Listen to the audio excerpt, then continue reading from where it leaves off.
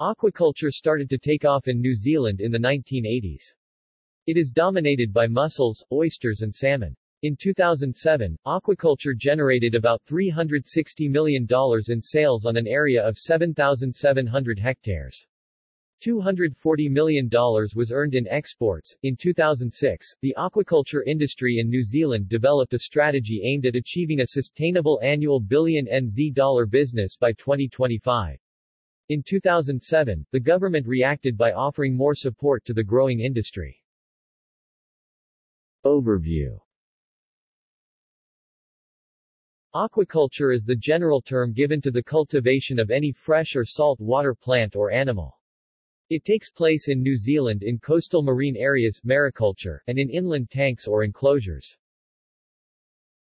Aquaculture in New Zealand currently 2008 occupies 14,188 hectares.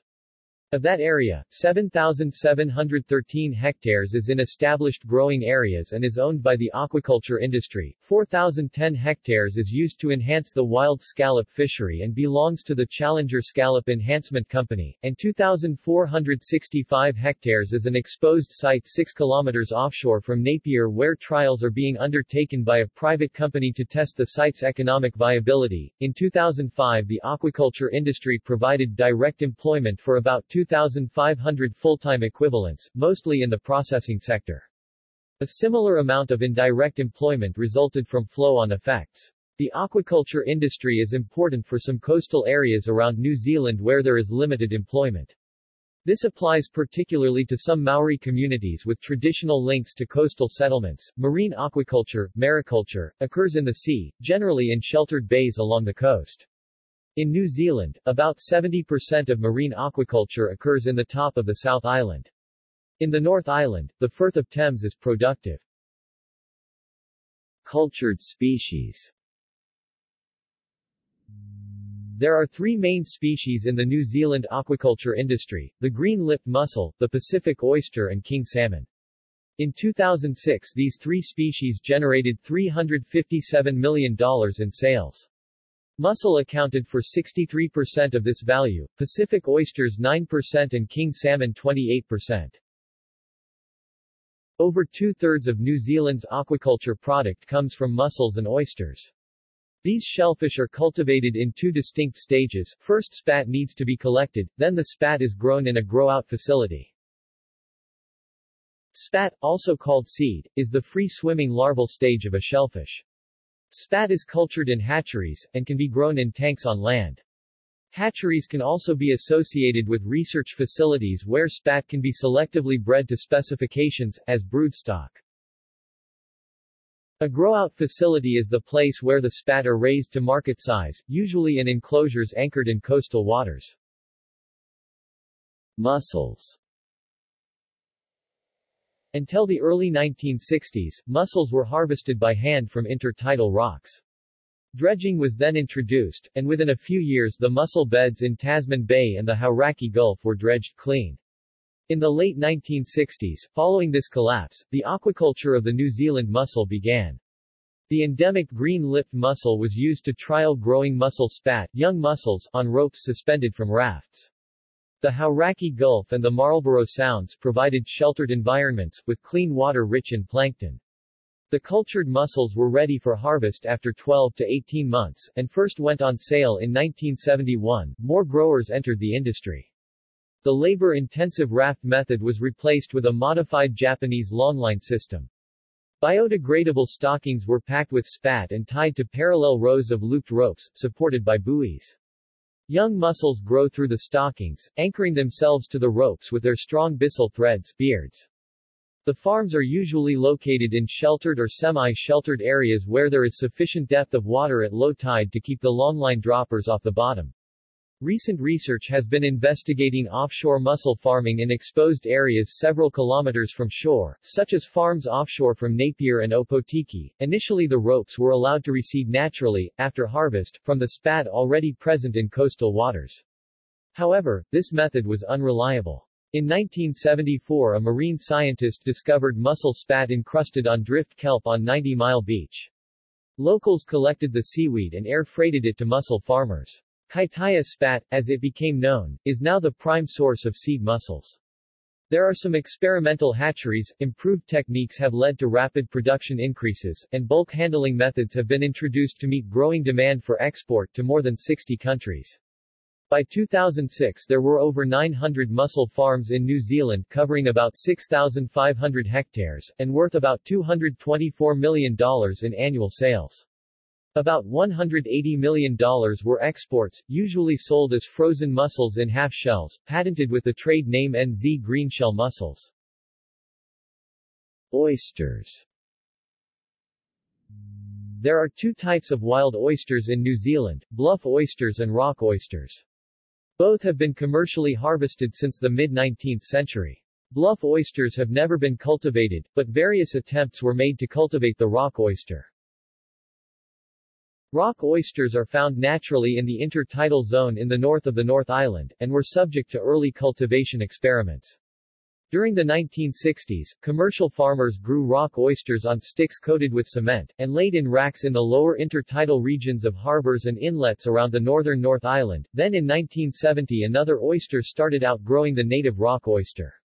This newcomer was the Pacific oyster, which had probably been introduced into New Zealand waters in the 1950s from a Japanese vessel hull or in their ballast water.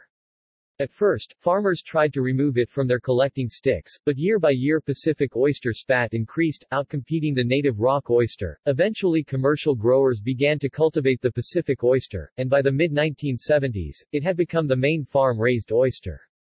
Pacific oysters have well-established international markets, grow three times faster than native rock oysters, reach a larger size, have several spawnings each year and produce more consistent quantities of spat. In 1977 Pacific oysters appeared in the Marlborough Sounds, and farming began there in the 1990s.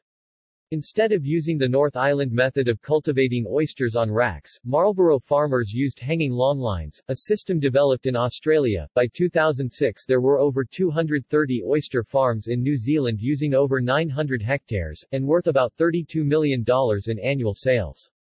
About $18 million were exports. Hatchery-reared seed is not suitable for the rack systems which are still used by much of the industry. Pacific oysters on these racks are cultured from wild spat, most of which is gathered in the Kaipara harbor. However, other systems are increasingly being used, including hanging long lines and plastic trays. The Cawthron Institute is the main provider of hatchery spat, and can selectively breed spat to specifications. Salmon Around 1900, different salmon were introduced as sport fish. Only the king salmon Chinook adapted to the environment. For decades, the development of salmon and trout aquaculture in New Zealand was opposed by recreational fishers, on the grounds that disease would spread from fish farms into recreational fisheries, and that wild fish would be poached if they could be sold. In 1973 the government compromised by making trout farms illegal, but salmon farms legal. New Zealand is probably the only country in the world where trout farming is illegal, despite commercial interest from companies already farming salmon. In 1976, the first salmon farm was established at Pupu Springs, Tasman. Salmon were raised in fresh water, growing to 25 centimeters over two years. The venture was originally aimed at ocean ranching, where juvenile salmon would be released into the sea with the expectation that some would return as adults. But few did return, so the Pupu Springs facility was converted to a hatchery, supplying stock to sea farms. In 1983, the first sea cage salmon farm was established in Big Glory Bay, Stewart Island. It was followed by farms in the Marlborough Sounds and at Akaroa Harbor on Banks Peninsula. These areas accounted for over 90% of the 8,500 tons of salmon produced in 2001. Today, New Zealand accounts for over half of the world production of king salmon, 7,400 tons in 2005. Farming in the sea, mariculture for king salmon is sometimes called sea cage ranching. Sea cage ranching takes place in large floating net cages, about 25 meters across and 15 meters deep, moored to the sea floor in clean, fast-flowing coastal waters. Smolt, young fish from freshwater hatcheries are transferred to cages containing several thousand salmon, and remain there for the rest of their life. They are fed fishmeal pellets high in protein and oil. Most of this fishmeal is imported from Australia. The salmon are harvested when they are about two years old, weighing 2.5 to 4 kilograms. Sea cages are located in the Marlborough Sounds, Akaroa Harbor and Stewart Island. Farming in freshwater for king salmon uses net cages placed in rivers, using techniques similar to those used for sea-farmed salmon. Freshwater raceways are located in several Canterbury rivers such as the Clutha and Waimakariri rivers. In the 1990s, a unique form of freshwater salmon farming was developed in hydroelectric canals in the Mackenzie Basin. Young salmon are enclosed in pens in the Ohau and Tekapo canals. The Tekapo site, fed by fast cold waters from the southern Alps, is the highest salmon farm in the world, 677 meters above sea level. Before they are killed, cage salmon are anesthetized with a herbal extract. They are then spiked in the brain. The heart beats for a time as the animal is bled from its sliced gills. Relaxing the salmon like this when it is killed produces firm, long-keeping flesh. Lack of disease in wild populations and low stocking densities used in the cages means that New Zealand salmon farmers do not use antibiotics and chemicals that are often needed elsewhere. The New Zealand industry has grown into the largest producers of farmed king salmon in the world, accounting for about half of world production. The New Zealand King Salmon Company dominates the production of king salmon in New Zealand. The company has its own selective breeding programs integrated with quality control and production.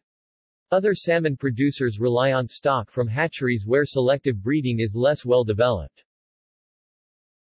Other species The culture of ornamental cold water species, such as goldfish, are valued at about $18 million. A small-scale freshwater prawn farm was established in 1991 at Wairākei, near Taupo, producing tropical giant river prawns. Heat from a geothermal source is used to heat water in prawn-rearing ponds see geothermal energy and aquaculture. Other species which have potential, but are currently small-scale or are still in research or pre-commercial stages, are discussed under prospects below. Scallop enhancement Enhancement is the name given to techniques designed to boost the natural recruitment or survival of young animals or seaweed in the wild. In New Zealand, scallop enhancement has worked well in Tasman Bay and Golden Bay. The New Zealand scallop is a large fan-shaped shellfish, flat on one side and convex on the other. It lives on the bottom of coastal waters from low tide level to over 90 meters deep, though typically from 10 to 25 meters deep. Scallop spat collecting bags are suspended during summer in coastal areas with high natural scallop settlement. The scallop larvae settle out of the plankton onto the fine feathery surface of the plastic mesh bags. The larvae are allowed to grow to a suitable size and are then released onto known natural scallop beds at densities of about 6 per square meter of sea floor. There, they are later harvested on a rotational basis by dredges. This technique has resulted in a marked increase and stabilizing of the available annual catch. The Tasman scallop fishery, near collapse in the 1980s, recovered with receding to a level where 747 tons were harvested in 2004. Legislation and administration Marine farmers usually look for sheltered and unpolluted waters rich in nutrients. Often these areas are also desirable for other purposes. In the late 1990s, demand for coastal aquaculture space upsurged, increasing fivefold. Aquaculture consents developed haphazardly, with regional councils unsure about how marine farms might impact coastal environments. By 2001, some councils were inundated with marine farm applications, and were operating with inadequate guidelines for sustainably managing the coast. As the Ministry for the Environment put it, Attempts to minimize local or cumulative environmental effects resulted in bottlenecks, delays and high costs in processing applications for new marine farms, local moratoria, submitter fatigue and poor environmental outcomes. Marine farmers, local communities, and the government wanted change. In 2002, the government stopped issuing consents for more new marine farms while they reformed the legislation. The consents had operated under a system overseen by both the Ministry of Fisheries and the regional councils. The reforms aimed to streamline these applications for both freshwater and marine farms. Industry farmers objected to the moratorium, on the grounds that delaying expansion and diversification could not be in the interest of the industry. Maori groups considered they were especially affected since they were the main applicants for coastal farms. This took three years, and in early 2005, Parliament passed the Aquaculture Reform Act 2004, which introduced the new legislation. The Act amends five existing acts to cope with the new environmental demands, and creates two new acts, the Maori Commercial Aquaculture Claims Settlement Act 2004 and the Aquaculture Reform, Repeals and Transitional Provisions, Act 2004. The legislation and administration of aquaculture in New Zealand is complex for such a small industry. A more comprehensive overview can be found here. Aquaculture is administered in New Zealand through labyrinth bureaucracies, with consequent diluted responsibilities. No single ministerial portfolio or government agency is responsible. As an example, in 2007 the government released a strategy on aquaculture. This strategy was endorsed by six government ministers with the following portfolios, fisheries, environment, conservation, local government, Maori affairs, industry and regional development. Further, there were five government departments directly involved in the preparation of the strategy. As another example, the access to marine and freshwater aquaculture sites are under the control of 17 regional local government agencies with yet more oversight by various central government agencies. Despite many further consultations and incentives, no new aquaculture space was created under the new legislation for another four years. This coincided with a change in government at the end of 2008, which announced that the aquaculture reforms are to be overhauled. Training and research in recent years, skill levels in the New Zealand aquaculture industry has considerably improved. This has been largely due to Seafood Industry Training Organization SITO, an integral part of the seafood industry. SITO have developed tailored aquaculture training programs based on their prior experience with industry-based training for wild fisheries. They now offer nationally recognized training programs based on the needs of companies involved in aquaculture. At the tertiary level, the Auckland University of Technology offers an undergraduate degree in aquaculture. Other tertiary training centers offering aquaculture courses include the Bay of Plenty Polytechnic, the Nelson Marlborough Institute of Technology, and the Mahurangi Technical Institute. Government funding for aquaculture research is about 2% of the annual sales of the industry. These funds are mostly delivered through a competitive bidding process, organized and controlled by the Foundation for Research, Science and Technology. The principal aquaculture research group is the National Institute of Water and Atmospheric Research NIWA. NIWA is structured as a profit-making private company, though it is owned by the government. It operates three aquaculture research facilities, Bream Bay Aquaculture Park, Mahanga Bay Aquaculture Research Facility and Silverstream Hatchery. The Bream Bay Aquaculture Park includes other private aquaculture companies organized as an industrial technology park. NIWA produces yellowtail kingfish spat, seed abalone and salmon smolts, which it sells to on growers. The Cawthron Institute is a non-profit organization which does regional research around Nelson. It operates a nearby saltwater research facility called the Cawthron Aquaculture Park. The tertiary education sector undertakes a small amount of aquaculture research. In 2007 an aquaculture center was opened at Mahurangi Technical Institute in Warkworth.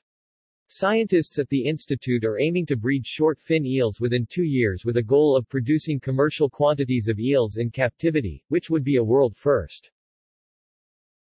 Role of Maori in pre-European times, the indigenous Maori of New Zealand undertook rudimentary aquaculture activities, such as placing suitable rocks into the intertidal settlement zones of oyster larvae. They were also thought to have transplanted abalone and other shellfish between different areas. Maori currently have a significant presence in the New Zealand aquaculture industry, and this is likely to increase over time as the requirements to allocate aquaculture space through the Maori Commercial Aquaculture Claims Settlement Act 2004 are met. However, inappropriate aquaculture locations and unsustainable practices have the potential to compromise values and resources important to coastal fauna, hapu and IWI. In 2008, a settlement of $97 million was made to Maori for Crown obligations for aquaculture space that was approved between 1992 and 2004. NIWA operates a Maori Research and Development Unit, Te Kūwaha o Taihoro Nukurangi. The unit has a team of Maori scientists who undertake research and provide consultancy services, based particularly around IWI with environmental and commercial issues. Prospects in 2006, the New Zealand aquaculture industry published the New Zealand Aquaculture Strategy, setting itself an annual sales target of 1 billion NZ dollars by 2025. The strategy sets out 10 areas of activity needed to achieve this target. The New Zealand Aquaculture Council has introduced a levy on aquaculture producers so this strategy can be implemented. In 2007, the New Zealand government responded to this industry initiative by releasing an aquaculture development strategy highlighting existing actions and proposing new initiatives. In addition, the government has offered additional funding around five key objectives, with the main focus on improving the implementation of the new 2004 regulations. At the end of 2008 there was a change in government, which announced that the aquaculture reforms will be overhauled, but reaffirmed the government commitment to the industry billion-dollar target. The New Zealand industry currently relies on low-value filter feeding shellfish, mussels and oysters, which are fast-growing and relatively easy to culture. There is potential for the industry to diversify into higher-value species such as paua, kingfish and crayfish. These species need special food supplies and are more expensive to farm, but they command higher prices. The native Blackfoot paua, Haliotis iris, is a form of abalone. They are large sea snails which survive strong tidal surges by clinging to rocks using their large muscular foot. Wild paua has been harvested since 1944, usually by skindivers. Paua aquaculture started in 1980, but has been slow moving beyond development. They are difficult to grow, and grow more slowly than salmon, mussels or oysters. Their larvae and juveniles need to be grown separately. Most paua farmers get juveniles from hatcheries, and feed them fresh kelp in land-based tanks. In Akaroa Harbor, one farmer grows paua on plastic barrels tethered to buoys. In 2002, farmers produced 5 tons of paua meat, worth $400,000. Another New Zealand pioneer paua farmer cultivates blue pearls by placing some grit between the flesh of the paua and its shell, where it acts as an irritant. The paua responds by coating the grit with nacre, mother of pearl. This develops as a blue pearl. For some years there has been research on the best ways of growing the red seaweed, Gigartina atropurpurea, in New Zealand. Seaweed spores are grown on 3-meter strings at NIWA's Mahanga Bay Aquaculture Research Facility, and are then transferred to a mussel farm in the Marlborough Sounds. If successful, a new seaweed growing industry could spread to the mussel farms in the Marlborough Sounds. Bluff oysters are harvested from the wild in Foveaux Strait. However, they breed more easily in Northland, and NIWA is examining their aquaculture possibilities. Shortfin and longfin eels have been trialed by NIWA. Established worldwide markets in cultured eels are worth over $1 billion, and a decline in some stocks has opened up opportunities for New Zealand. The big-bellied seahorse is a native seahorse. Seahorses are valued aquarium fish. They are also used medicinally, particularly in traditional Chinese medicine. Wild seahorses have been overharvested worldwide, opening markets to their aquaculture. A New Zealand sea sponge, Mycale hentscheli, which grows in Pelorus Sound, may hold the key to an anti-cancer drug. Scientists are working to see how peloruside, a substance produced by the sponges, might be used as a cancer-fighting drug. Victoria University and NIWA are working with Marlborough marine farmers to develop a method for growing the sponge on an existing mussel farm. Other prospects which are being researched or trialed include Timeline Pre-European, the indigenous Maori undertake rudimentary aquaculture activities, such as placing suitable rocks into the intertidal settlement zones of oyster larvae. They are also thought to have transplanted abalone and other shellfish between different areas. Early 20th century, salmon species are introduced to New Zealand as sport fish, but only the chinook, or king salmon adapts to the environment. 1950s, the Pacific oyster is introduced, possibly from a Japanese vessel hull or in their ballast water. Early 1960s, dredge fisheries start operating in the north of the South Island and around the Hauraki Gulf. Within a few years they dredge these areas bare. Late 1960s, as a response to the collapse of the dredge fisheries, the aquaculture of New Zealand mussels begins. 1970s, farming of king salmon begins. Late 1990s, the aquaculture industry goes through a boom period, and demand for coastal space increases fivefold. 2002, the government, in some disarray, imposes a moratorium on new marine farms while they attempt to develop better legislation aimed at dealing with the environmental demands of aquaculture and streamlining applications for marine and freshwater farms. 2005, Parliament passes the Aquaculture Reform Act 2004, amending five existing acts so they can better cope with the environmental demands of aquaculture, and creating two new acts. However, the reform fails to streamline applications, and no further allocation of aquaculture space occurs over the next four years. 2006, the New Zealand aquaculture industry publishes the New Zealand Aquaculture Strategy, setting itself an annual sales target of 1 billion NZ dollars by 2025. 2007, the New Zealand government responds to the industry initiative by releasing an aquaculture development strategy highlighting existing actions and proposing new initiatives including funding incentives, mainly aimed at trying to action its reform legislation. 2008, a settlement of $97 million is made to Maori for Crown obligations for aquaculture space that was approved between 1992 and 2004. 2008, the government changes and announces that the aquaculture reforms will be overhauled. It reaffirms the government commitment to the industry billion-dollar target. See also Fishing industry in New Zealand Agriculture in New Zealand References Further reading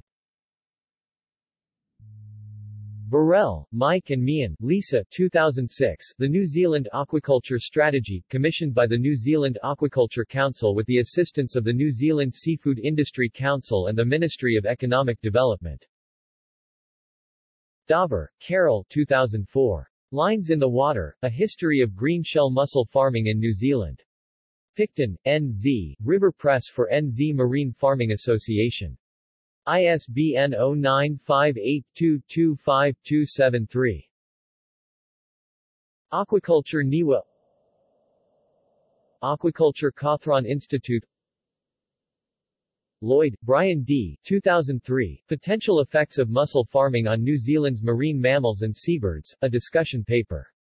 Science and Research Unit, Department of Conservation, Part 1 Part 2 Part 3 Part 4 Part 5 Part 6 Government Departments Aquaculture, Ministry for Primary Industries Aquaculture, Ministry for the Environment Aquaculture, Policy 8 Department of Conservation The Aquaculture Industry Te Puni Kokiri, Ministry for Maori Development Fish Natural Resource Accounts, Statistics New Zealand